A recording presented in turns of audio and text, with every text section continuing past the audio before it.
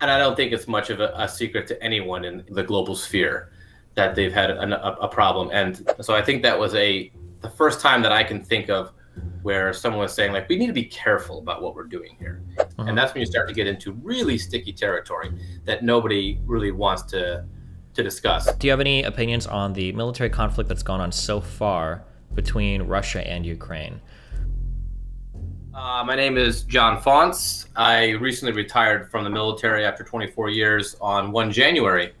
Um, I spent my last 16 years of the military uh, in the United States Special Forces. And the last four years, uh, from the summer of 2017 until the summer of uh, 21, I served at the NATO Special Operations Headquarters in Mons, Belgium. And I was the director of exercises, evaluations, and assessments. Um, and that kind of sums it up in a short thing, unless you wanted more. Um, probably good for now. Although I imagine we, will probably get more into it depending on where the conversation goes. Yeah. Certainly. Um, okay, so you had a, I guess, a mutual friend reached out to connect us because I imagine you obviously probably have a decent number of thoughts on everything that's going on today, uh, with respect to Russia and Ukraine and everything. Sure, um, absolutely. Uh, I think a lot of people, which is good, are having their own thoughts on what's going on. Um, and I had a unique experience uh, when I was there in NATO. One of the things that I think uh, that might be a little bit different is on the lower levels. I uh, as the director of evaluations, NATO has a thing called the response force. Mm-hmm. Every year, different countries offer up troops to get certified, interoperable, be able to talk to each other, fight with each other, plan with each other for events that would be an Article 5 reaction, is what they're intended for. Mm-hmm. But every year they do that. And in uh, 2019, Ukraine offered up a battalion size, about four to 500 troops, to be part of the NATO response force. 1st mm-hmm. time ever that uh, a non NATO nation offered troops. And we evaluated them. They passed. They were considered certified, combat ready. Mm-hmm. Um, it was a wonderful event. They celebrated in epic fashion. Um, and I don't know, you know, when we look back on it now, it's kind of maybe one of the things that maybe was poking the bear as we might say. Um, this is definitely something that said, hey, we are capable of doing this. Um, we are welcomed to do this. And there was a lot of talk about more being done. And so I think uh, that led to probably some of uh, perhaps uh, warning signals to other people that would, those that would not want this to be uh, done further. Mm-hmm. Do you have, um, so I guess is there anything, I guess, before I start asking questions, is there anything you wanted to center the conversation on today? We kind of traded some emails, but we didn't get into anything too specific. Um, sure. No, um, I mean, if people have questions that are interested a little bit about how some of the Ukrainians felt, especially just from the military perspective.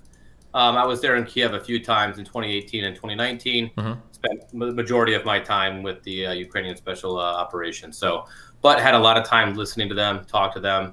Uh, but then also just a little bit on sitting there at a my headquarters was a strategic headquarters headed by a three-star American, uh-huh. um, and sitting in all the different briefings and all the different uh, discussions about hey Ukraine's coming in and things like that. If people are interested in kind of concerns as you would have anytime you want to let someone into an alliance, um, and also some things that people were really looking forward to for having them come in.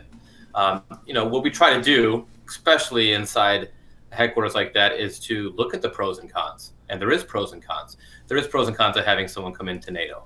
Um, there is pros and cons of taking action for someone who's outside of NATO. Mm-hmm. Um, there's pros and cons of taking action militarily, economically.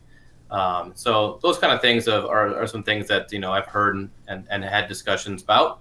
And if, if that's what someone might be interested in, happy to focus it there.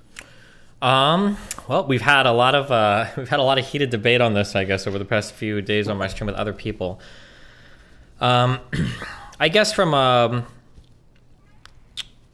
there's a lot of different directions we could go. Well, okay, we'll start. We'll start in a basic area. Um, I understand there might be some things you might not be able to talk about or don't want to talk about. You can always tell me, obviously, if that is the case. When it comes to Ukrainian membership in NATO, how do you feel? About, how would you feel about that in in three points of time from 2008 to 2014, and then from 2014 to 2022, and then say after this war onwards. I'm curious, like in each stage of time, like how, like what you feel like was the appropriateness of approaching Ukraine to join NATO. Uh, yeah, I, I, won't, I won't even load it anymore. Yeah, I'm just curious to hear you talk about that. Um, sure. I think uh, when we think about 2000 to 2014, mm-hmm. a very interesting time. You're only talking about, you know, at that point, the start of that window is 10 years after the fall of the wall. Of course, there's been a lot of discussion about what has or what hasn't been discussed uh, back when Germany was reunified. Mm-hmm. Um, so there was a lot of discussion that said, hey, we weren't going to expand it, but then of course we did. Um, and we took a lot of the Warsaw Pact in there. I think 99 is when Poland and a lot of the Baltics came in around that time. not for sure, but somewhere mm-hmm. around there. Um, so at that point, I believe there was a lot of belief that bigger is better hey, we have a we have an alliance. We want this. This is for deterrence, correct? I mean, that's one of the things we really kind of keep in mind when you talk about NATO. It is a deterrence alliance. Mm-hmm. It is not meant to uh, be able to go and into someone else's sovereign territory and exact things. They are meant to come into former sovereign territory of NATO members and restore it, and that's where it stops. Um, so I think at that time bigger would be better. We had a lot of people joining there in that time following the Warsaw Pact. I mean, from our side of it, you're saying, hey, this is great. We're getting more nations, but you also have to look on the other side of those that would not want it. They see it as an incursion. Of course, the further west we go, the further those borders are going to be. I don't think we had much belief in that time period, 2000 and 2014, I think is what you said, or did you say 2008? Um, 2008 was my understanding is when the first semi-formal offer was made to Ukraine that they kind of had like we're not going to let you in now, but you're like on a path to be accepted essentially. Okay. Mm-hmm. Um, yeah. So uh, there's always that belief that uh, you know NATO's expansion was is perceived as a, a threat to, mm-hmm. to, Russia, and why wouldn't they think that? Uh, they're getting closer and closer. Uh, there's no buffer between them and where people are putting troops, as well as just anything else. So when you share a border with uh, your adversary, there's a lot of different considerations. Mm-hmm. So, but from our standpoint of having Ukraine in there, I think it would have been wide open. I don't think we really thought that NATO was going to have any kind of, uh, of confrontation or any kind of wars. Mm-hmm. Once you hit 2014 and Crimea falls, I think that was the first time that maybe some things really changed.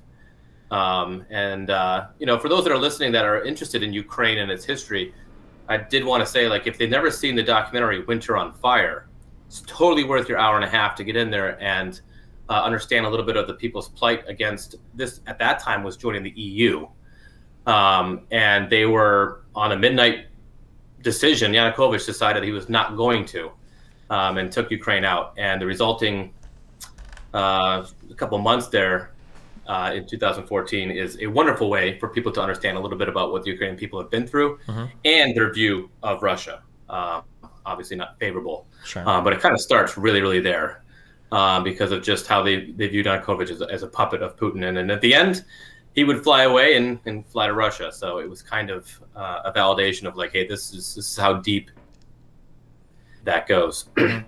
2014 you know, till just before this, um, I don't think it would be much different.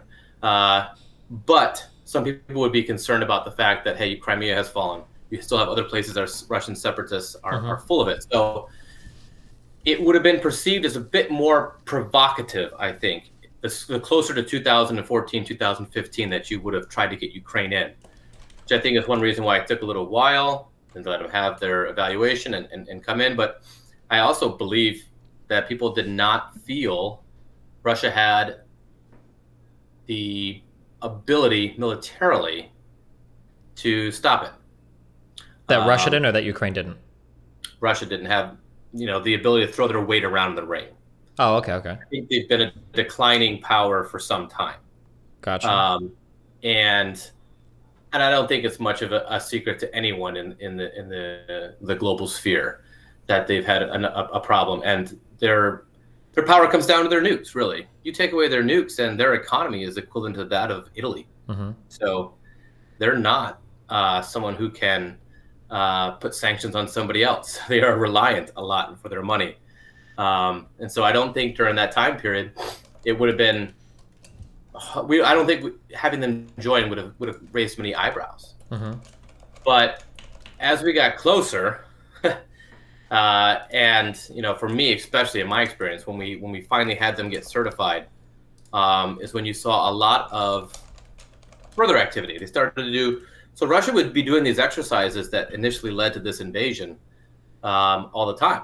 They'd put troops on the western. I think the the, the name of the exercise was Zapad, and in Russian that means west. Mm-hmm. I mean, that's just their message. Like we're going to come to the border and we're going to do an exercise called uh, "We're going, we're going this direction." Um, and so I think people started to be a little bit more cautious about it. Um, and what we ended up doing, even with the, the Ukrainians in our exercises, is we didn't let them into the intelligence sphere. Um, and that was part, I think, messaging saying, hey, we're not going to give them the intelligence. Obviously, there's going to be a ton of intelligence that NATO has on Russia. Mm-hmm. Um, but hey, we're not going to share it. so I think that was a the first time that I can think of where someone was saying, like, we need to be careful about what we're doing here. It's not so free to have any, you know, growth of NATO is always good. You know, there is a limit to it. I mean, as again, when it turns alliance, and then as a nation ourselves, we're trying to protect our national interests, our mm-hmm. national security. A good question that's fun to ask and people have debated is how many more nations do we need to join NATO before our national security is good? You could argue zero. How many? Mean, who do we need to join NATO before the United States feels secure? you could argue nobody. Hmm. Um, so that begs the question of like, well, how much more security do we need to? How much more European security do we need to aid to? Yeah, I was gonna say it feels like um, when I look at NATO and I think about the mission of NATO um, past ninety one. I think there were questions a little bit about w- what role would NATO serve, right? As being the chief anti-USSR pact with no USSR and then no Warsaw Pact, well, what's the point? Um, it feels like going forward, the the scope of NATO's mission expanded to uh, less even U.S. security and more like general security of Europe, because it seemed like if you had you know that NATO membership card, you were pretty safe as a country. Nobody's going to roll in and mess with you because NATO is going to come in and absolutely ruin your shit, right? Yeah. Um, it feels like NATO's mission past 91 expanded more to the general security of Europe. And I feel like from 91 till now, it seems like that's been largely successful. If you are in NATO, you're pretty free from people messing around with your borders next to you. Um, expanding that alliance to include those other countries seems to be positive for most people involved, um, with some, I guess, being upset that some militaries aren't chipping in enough money or whatever. Trump talked about that a bit. Um, but I would say that past now, maybe a little in 2014, um, and then especially today, I think it feels like countries are looking at NATO with a bit of a renewed purpose. Um, because now, at post Georgia, post Crimea, post the rest of Ukraine, um, now it's starting to feel like with Russia being a bit more adversarial, maybe NATO does have a, a greater purpose, um, or even like we can harken back to the old purpose something that I want to talk about in regards to that, or I'm curious for your, for your opinions, is feels like Russia is rewriting a little bit of what international relationships are supposed to look like post World War II, post 40s. Like countries aren't really supposed to invade other countries to threaten their territorial integrity. That doesn't happen, right? E- even when we look at like NATO interventions or U.S. interventions, right? If we think about Kuwait or Kosovo or Bosnia um, and the greater Yugoslavian stuff, like we'll go in or Libya, we go in, we eliminate something that we perceive to be bad um, which we can argue is like a, an infringement on sovereignty, but there's no like territorial claims. We're not like trying to take over things. We're not trying to claim land. And it feels like this is really the first time we've seen this in the past 80 years where another country is literally invading, instating a new government, stealing land. Um, yeah, how do you think that that factors into everybody's mindset, I guess, now in Europe, Asia, across the world? A lot. When you say the how countries perceive NATO, are you talking about NATO members or other members or uh, you know, non-NATO members or NATO members? Well, it, I guess it felt like um, a lot of the rhetoric surrounding NATO was that NATO is, especially in 2008, when we had conversations about new rounds of NATO people joining, people like, why does NATO exist? It's just all it's doing is provoking Russia. Do we really need NATO? Is this really like uh, you know could we do this to the UN? Um, that, so it seemed like that's what I mean, like the perception that like why does NATO exist? But now it seems like the perception, if you look at countries like um, like Hungary, Poland, um, Estonia, Lithuania, Latvia, now these people are looking at NATO. It's like I actually feel really good with NATO right now. I'm glad I'm in NATO because I don't want to be like Georgia or Ukraine. So it feels like the purpose, the perception of NATO now has a renewed purpose as a result of that. That's what it feels like to me.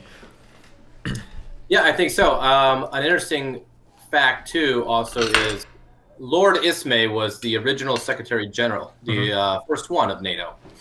And he was quoted as saying that the purpose of NATO back then mm-hmm. was to keep the Germans down, Obama. the Russians out, and the Americans in.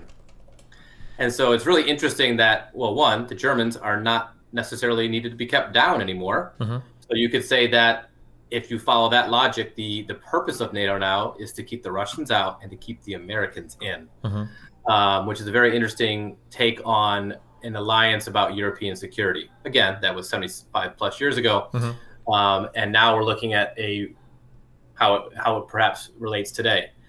Um, and the fun thing that people would talk about is okay, keep Russia out of what? Out of anyone? Or out of those original NATO members. And if it's the original NATO members, you know, then why have we expanded? If it's not, why aren't we expanding more? Mm-hmm. Um, and I think a lot of people, in my opinion, mm-hmm. felt wonderful about new membership up until about a couple months ago. Mm-hmm. And now they're saying, well, wait a minute. One, this isn't even a NATO member. So we get to go ahead and throw the flag and say this isn't our fight.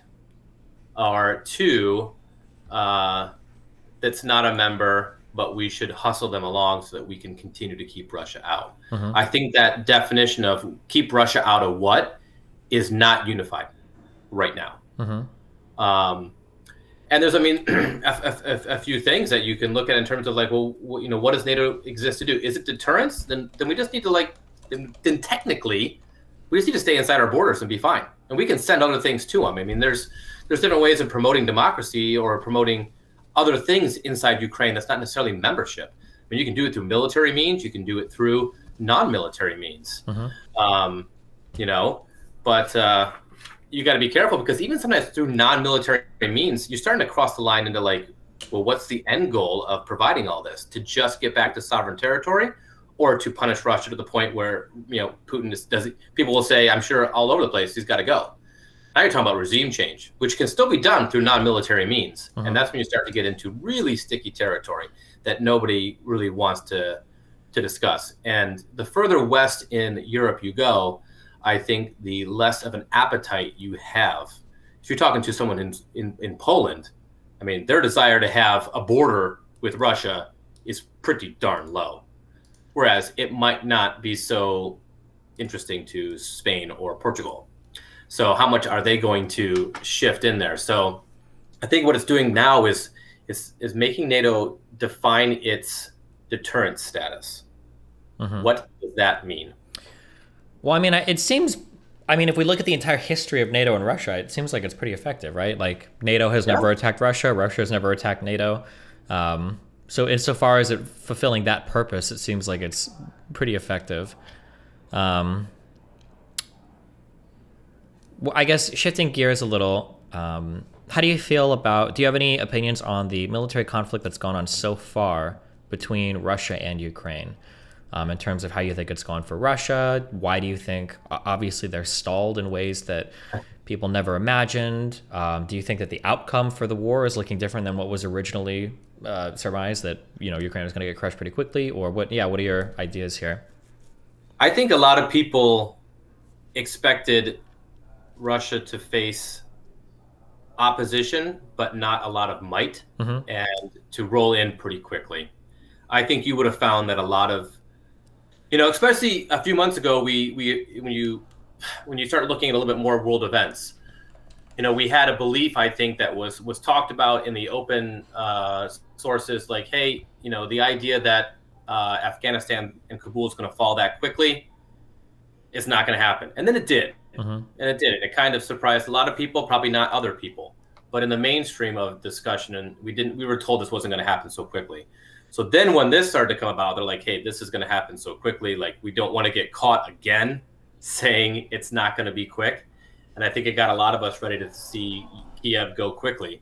Um, but then the Russians, and there's a lot of things that went on. Like the, again, they did these exercises all the time, and in order to keep it kind of secret from these conscripts and things like that, I think, I think a few people in the Russian military were caught as off guard as the rest of the world. Mm-hmm. Um, that seems to be the prevailing opinion that very, very yeah. few people in the Russian military actually thought that a real invasion was happening. Um, and a lot of people were kind of caught off guard for a variety of reasons when it actually did happen. Yeah.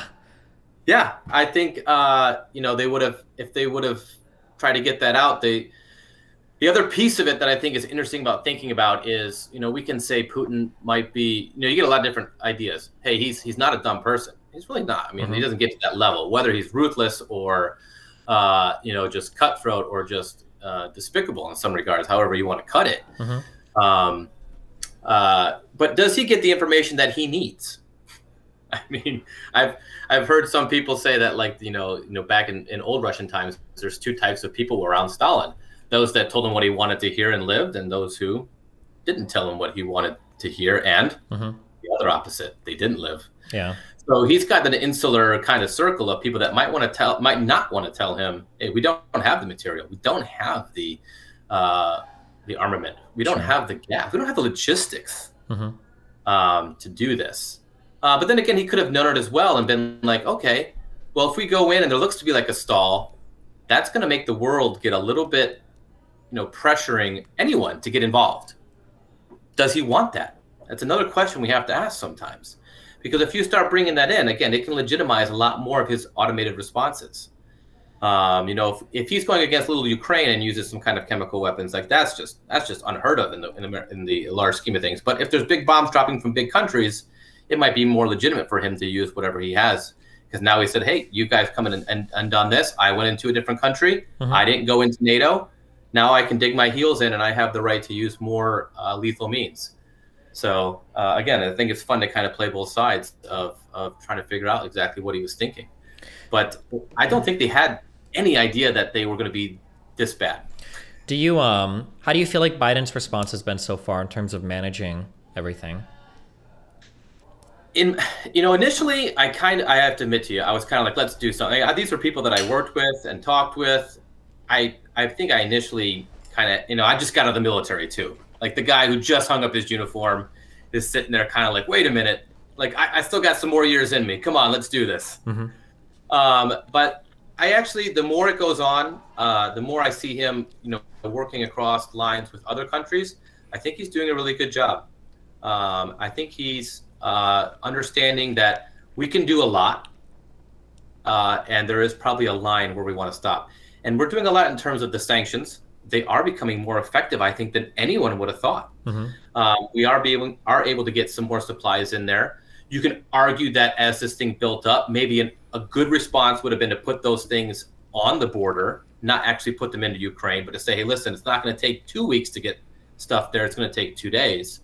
Um, that's one thing that I think, in hindsight, being you know this wonderful thing we can use, um, that could have messaged maybe a little bit more of our resolve to say, you know, we've got a lot of depots throughout the country. We like we could have really put some things and put some ships on alert, just sending to the area saying we have things coming to support Ukraine, not crossing a border, mm-hmm. but he's also working with his with his allies, and you know that's what we expect from a world leader. Do you um? I'm curious. What do you think are the ramifications for I do. I do. We largely agree that like, should Putin succeed, the goal is probably ousting the regime in Kiev, installing a new government, and probably leaving after recognizing um, Donetsk and Luhansk, or whatever, as like separate territories. If he fails, what does that future look like for Russia? Do you have any thoughts or opinions on that? Yes. Um, I think that ultimately is going to hopefully lead to a more peaceful solution than actually taking the whole place. Because I don't think he will. I don't know. Maybe it's a hope. I don't think he will. Mm-hmm. Um, because then the world has a different thing to do. It's like we've lost Ukraine. Mm-hmm. if the world's looking at it and says we lose some Russian separatist areas that kind of weren't part of Ukraine anyway, there's been fighting going on, and now they're with Russia, and now there's less fighting in those areas. Some people might see that as a win. But I think the danger is if they were to do all that and we try to take it back, then it would delegitimize what he's trying to do. And if, if that happens, then if he, I think more than anything else, he does not want to lose the face he has or the face he can keep inside his own country. Mm-hmm. He controls a lot of the information. Mm-hmm. You know, if he walks out of there with some territory, he can go back and say, look, you know, we showed them some mercy because that's who we are as Russians. We're strong, we're powerful, but we let them keep it. And to show you that we were actually winners, we walked out of there with something. Gotcha. That's I've so I've read some news stories over the past few days where it seems like subtly the Russian messaging has kind of changed to allow them to back out, but they did it because they went in, they accomplished their mission, and now they left or whatever. Um, so yeah, maybe that is the direction forward. Um, something that's not talked about too much that I think is really interesting is um, actually two other things. Um, before I'm going to ask you the Chinese question, I'm curious what Ch- China's role in all of this because they're kind of like the boogeyman that everybody's looking for because it feels like, and then to this question, Russia is becoming increasingly isolated from the world, which, insofar as sanctioning them, is probably a good thing. We want them to be punished, but um, kind of like when you've got like a nine year old and you've grounded them and you've taken all their toys away and you can't like you can't do anything else to your kid to punish them it's like okay well now we're in a really bad area because they continue to misbehave you've got nothing.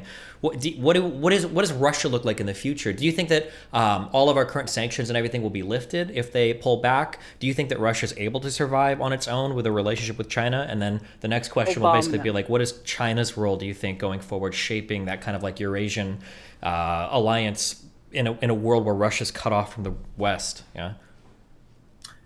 Yeah, I, I will admit that my my knowledge in that area is not nearly as good. But mm-hmm. like anybody else, I, I you know I have my thoughts. Mm-hmm. Um, you know, I think if if Russia, you know, if we end up taking getting close to taking all their toys, um, and and and they're going to want some back because mm-hmm. they're not. You know, your nine year old's still going to. He, he has nothing to lose. Yeah uh, to misbehave. He still gets the behavior he wants in the end, and he just you know he he has no he doesn't place that value. But mm-hmm. Russia needs it, and to be honest, a good question to ask is is how destabilizing to the area would it be if Russia were not able to continue on? Mm-hmm. If you know this thing gets delegitimized, and if there's some kind of call call for any kind of change. I mean, you had protesters and things like that early on. That's I wonder if he saw that coming or not. Mm-hmm.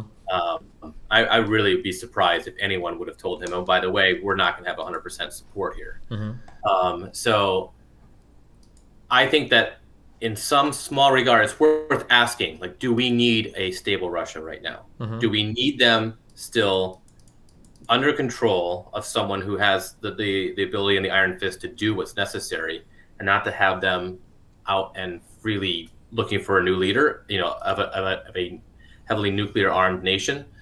Um, while at the same time, you start to bring in China. Uh, again, I, am reaching here on some of my ability to to speak on uh, on that, but I think the role is anyone who's causing problems for someone other than China mm-hmm. is going to be good for China. Mm-hmm. So they would love for Russia to be as meddlesome in affairs as possible without actually having any kind of collapse inside. That that wouldn't be good for them. Mm-hmm. But um, I think they're happy to kind of kind of let them uh, you know punch their weight and and, and take some uh, focus off them right now. But I think they'll be able to use this to maneuver. I don't know how, but I think they're pretty smart. I think they're going to be able to, able to use this to maneuver their their role in in making some decisions for for Russia in the future. Sure. Gotcha. Um. Hmm. Well, I guess with respect to anything else, are there any other like are there any other areas here that um, is there information that you have by like working in the ground with people, being with Ukrainians, spending time over there, stuff that you wish that more people knew, or do you think there's some larger narrative that the media kind of misses just because for whatever reason that you wish like more people were aware of? Um, I would go back to just uh, uh, reiterating, like I think watching the Winter on Fire is is a great starting point. and if you start to understand what Ukrainians have been trying to do and to understand that it's always been thwarted by Russia. And, uh, you know, they probably had their opinions on how much more support they could have got from the EU in terms of joining. Mm-hmm. You saw them when this all broke down. Zelensky was like, give us the membership now. We've been asking for it. You said we're going to get it. It's going to all work out. Now is the time. So I think if you can understand just how many years Ukrainian citizens have had this impression that the West was going to welcome them as a friend at the table, uh-huh. and that seat's still empty, is is something that we need to consider because when all this is over, um, how we make sure that we maintain that relationship with them because we're still going to need it, uh-huh. no matter how it ends. You know, if they get taken over completely, that's going to be a whole different thing. But even if they have lose some, but have the most, you know, they're still operating their government out of Kiev um, they're going to want that seat at the table. And what are we going to do now? What are we going to do in 2027? What are we going to do in 2030? Mm-hmm. Are we going to welcome them in? Because now it's going to seem as and that's something that Russia's probably playing on, on the table is like, hey, now, even if we only get a little bit of land, it's not going to be beneficial from an alliance standpoint to let someone like this in because they're bringing too much baggage. Mm-hmm. They, if they want to keep them out of NATO, if that is one of their things, doing this and taking a little bit of land, they can walk out as merciful people who just took the Russian part that they wanted. And now it makes everybody else in NATO say, do we really want to let them in right now? Sure. We really have kind of felt they were close. And now it's kind of like, hey, this is, uh, you know, someone that's bringing us too much baggage. So, you know, what's it going to be like in five years? Because Ukrainians are going to turn around and say, we've been hearing from you that we're going to join the EU. We've been hearing from you we're going to join NATO. We even gave forces to NATO. Mm-hmm. That's what you asked us to do. That's what we did. It's kind of one of those things like I've done everything you asked me to do. So, you know, where's my ticket to the dance? Okay. Um, something more more specific to I guess like work that you would have done. I'm kind of interested in. What um, what what is it like working with like a like a I guess like a NATO troop? Um, when you've got like people from different militaries all across the world is it like well like some i don't even know what the words would be regiment or i don't know how they do it at nato but like if you've got like a group of soldiers that you're working with is it going to be like 98% americans in one crew like 2% you know people in whatever or is it like a mix of soldiers from all over the place? Are there like different drills different training disciplines? Like what is what does that look like? Yeah. Um yes. So I mean, you have your basic four areas. You know, I'm more familiar with the special operations. You have your land, air, and maritime components. Mm-hmm. Um, they're not all in, not all commanded by uh, uh, uh, multinational kind of things. But you, when you look at the commander of Landcom, when you look at the commander of Aircom, you look at the commander of Marcom, you know, you're going to find American flags flying. Uh, in the commander, we don't really have a standing special operations, just headquarters for coordinating right now. Mm-hmm. Um, but so it becomes that kind of face of it. Um, and I will say that they openly talk about the fact that you know he who writes the check, you know, calls the plays. Sure. Um, and uh, that they're very appreciative of everything, uh, but they they often message that they want more. And so when you're out there with things, they they they listen to the Americans. They're very respectful, but they want a greater role. I, I, I think they really want to see some of some of these units and some of these higher level things in commanded commanded by uh, non-U.S. people. I think they are actually willing and ready to show that uh, Europeans can take a greater chunk of their their security. I think that you know we kind of say like, oh, you need to pay more or whatever. Like they think, well, we got it. If we need to do this, we can, and maybe they can. And you know, what's showing, especially if your adversary is your near peer uh, Russia over there, and Ukraine's giving them a little bit of a tough tough time. I mean, the rest of Europe sure could do it, couldn't they? Sure. Yeah. Okay. Um, hmm. Anything else you want to hit on or touch on, or anything else you want to chat about? No, I think the, the last thing I would say is that uh, my time with the individual Ukrainians, mm-hmm. um, they were very they were very welcoming. They they love to have the, you know meals and sit and drink and just chat, and they wanted to tell you about life growing up in Ukraine, and they were always always super interested about. You know, I was with many different nations. Um, they weren't asking about life in growing up in France or life growing up in, in Norway. They want to know about life growing up in the United States. Mm-hmm. And they all have these dreams of visiting. They've all heard about DC and New York and San Francisco. I don't know why. Mm-hmm. They love San Francisco. Um, and so, you know, these these are just like any other human being. They have their dreams. Uh, and and they want to see them attainable at some point in their life and they just want their own country and they want to be able to make their decisions. You know, they have a moral right to their sovereignty, and they just want to choose their own alliances. And, and, and I hope that they can stand strong. I think they're doing a hell of a job. I really think that they're surprising a lot of people, and uh, I think they're getting some great leadership from their president. And uh, I wish them the very, very best. And I look forward to hearing from a lot more of them when it's all said and done. All right, cool. Well, hey, thanks a lot. I really appreciate the conversation. Um, if there's anything else you ever, if anything comes up, you ever want to hop on and chat about something in particular or anything, yeah, you can always let me know. Great. Thanks so much for the opportunity to talk about it. Yeah, thanks a lot. I appreciate it. Okay. Bye.